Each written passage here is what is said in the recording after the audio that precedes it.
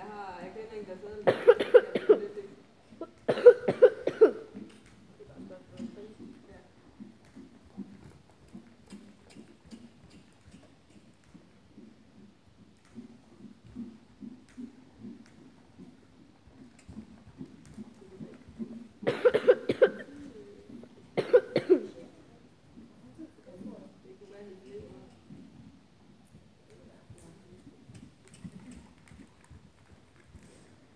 Hvad koster så det her?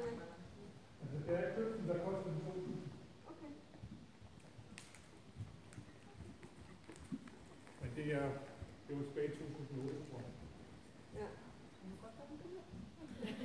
Så med inflation og så videre, så skulle de tre. Jeg ved det ikke. Jeg har ikke, som sagt, jeg har ikke set den siden.